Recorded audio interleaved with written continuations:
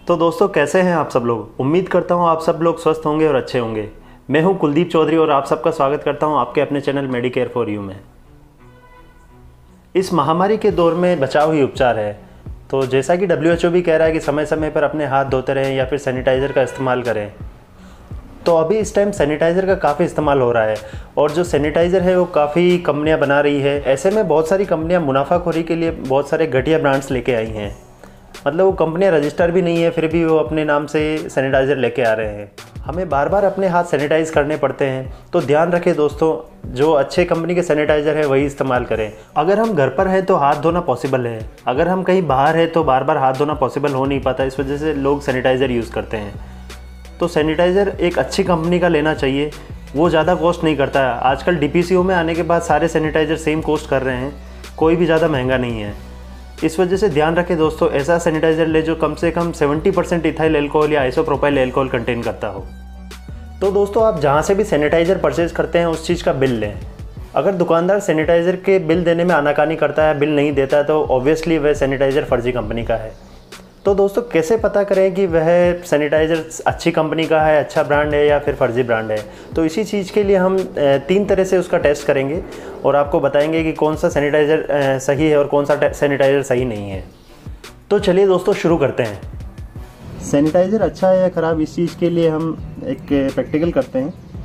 एक कोई भी टिश्यू पेपर लेंगे, उसके ऊपर हम पेन से डॉट बनाएँगे। जैसे हम दो सैनिटाइज़र है, उनके लिए हम टेस्ट कर रहे हैं। तो हमने दो डॉट बना दिए। अब उनके ऊपर अलग अलग हम सैनिटाइज़र डालेंगे। जैसे इस डॉट पर हमने ये सैनिटाइज़र डाला है। इसे डालकर रख देंगे। और इस डॉट पर ये दूसरा सैनिटाइज़र जो दूसरी कंपनी का है, वह लेंगे। अब जैसा कि आप डिफरेंस देख सकते हैं, जो एक अच्छी कंपनी का सैनिटाइज़र है, उसके अंदर ये जो इंक है, वो फैली नहीं है। और जो घटिया कंपनी का सैनिटाइज़र है, उसमें इंक फैल गई है। ये आप, मैं इसको अच्छे से हटा देता हूँ तो आप देख पाएँगे।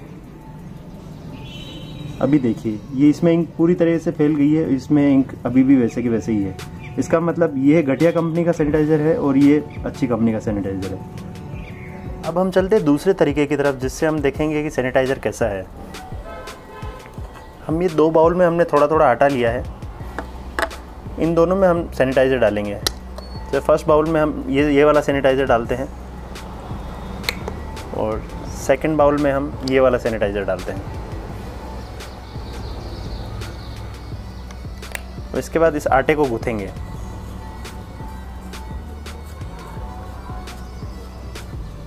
इसमें सैनिटाइज़र कम है, पर फिर भी ये देखिए, इसमें क्लम्स बन गए हैं मतलब गुथ गया है।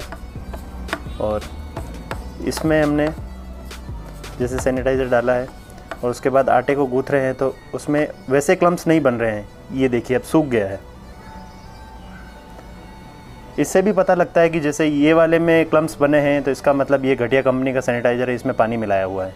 और इसमें क्लम्स नहीं बने हैं मतलब ये 70 परसेंट और मोर देन 70 परसेंट एल्कोहल वाला सैनिटाइज़र है। सैनिटाइज़र को चेक करने के लिए तीसरे और आखिरी तरीके की तरफ़ चलते हैं।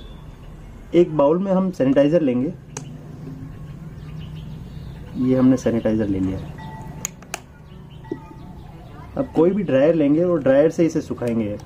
अगर चार पाँच सेकंड के अंदर ये सूख जाता है तो इसका मतलब वो अच्छी कंपनी का सैनिटाइज़र है। अगर नहीं सूखा तो इसका मतलब वो घटिया कंपनी का सैनिटाइज़र है।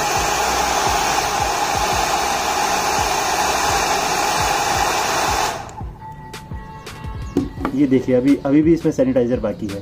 मतलब इसका मतलब ये किसी अच्छी कंपनी का सैनिटाइज़र नहीं है, इसमें प्रॉपर मात्रा में अल्कोहल नहीं है।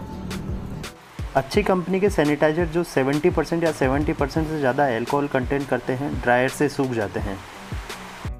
तो दोस्तों, आपको हमारी ये जानकारी कैसी लगी? प्लीज़ कमेंट बॉक्स में कमेंट करके ज़रूर बताएँ। आई होप हमारी ये जानकारी आपके लिए यूज़फुल होगी। रेगुलर अपडेट्स के लिए आप हमें फेसबुक और इंस्टाग्राम पर फॉलो कर सकते हैं। और किसी भी क्वेरी के लिए आप हमें डीएम कीजिए।